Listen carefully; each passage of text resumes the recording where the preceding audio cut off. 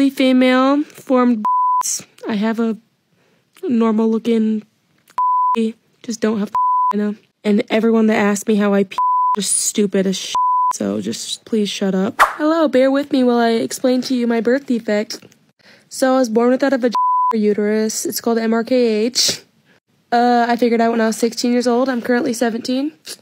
Figured out about five months ago. I was 16 years old, never got my period. They took me to the doctor. Yeah, whole thing. I think every girl with MRKH has a horror story about it.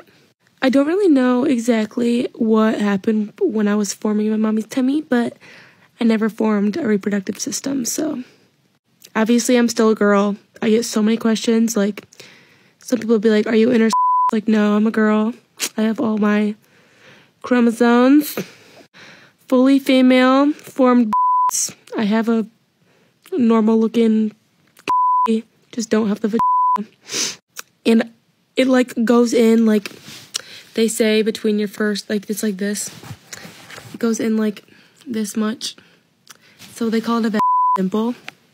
And obviously being 16 years old and hearing this is very hard.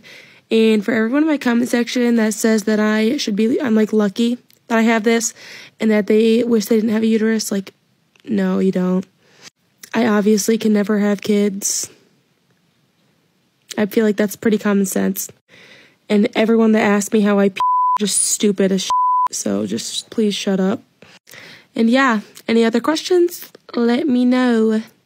And like another big thing is that like I can't have I don't know. It's just like yeah. And obviously like I said like everyone has horror stories where you like think you're having like you're not. Good thing boys are stupid as. It's just not easy thing.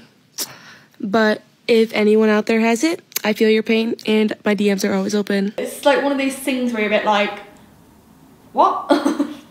that is so insane. I think like that must be really hard, especially 16 years old with your hormones and stuff. And you figure out like why have I not got my period? Like all my friends have got my period like from three, four years ago.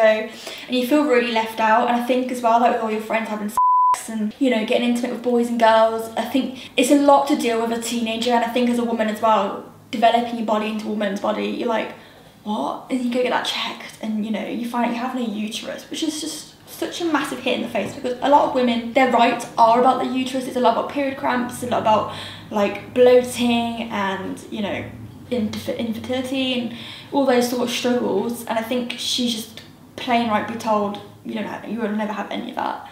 And I think it's like a right has been taken away from her. So I think just from hearing her story, I just feel really sorry and I just want to give her a hug. I, I think it must be really difficult to go through and to hear that, especially at 16 years old, and to only find out five months ago as well. That's really hard and that's really tough to even understand and grasp. And I feel like as well quite embarrassing for herself to, you know, to be like if she meets a boy because she's so clearly very pretty and attractive and she seems funny as well. That's a great personality to have into that. So it's like to meet a boy or a girl and they're like, okay, let's like maybe get a bit intimate, you know, develop feelings stronger. To her to be like, like mm, mm, sorry, I can't have sex. I think it's just embarrassing for herself. I think she'll feel really embarrassed. But she shouldn't be embarrassed. I think at the end of the day, it's something she can't control. It can't stop you from just being yourself and falling in love and having, you know, life and there's so many great incredible options out there like adoption surrogacy billions and trillions of different options you can go through. So it sucks to be told you never will have kids at the age of 16 it's difficult